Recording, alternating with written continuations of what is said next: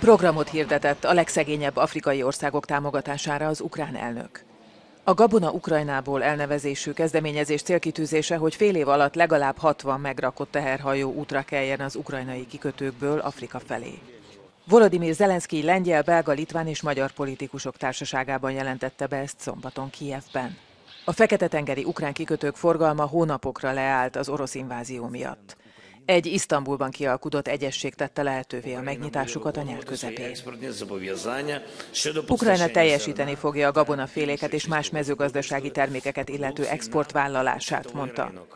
Ukrajna élet-halálharcot vív, de közben küzd más nemzetekért is, hogy kiszabadulhassanak a rabszolgaságból és az éhínségből, tette hozzá.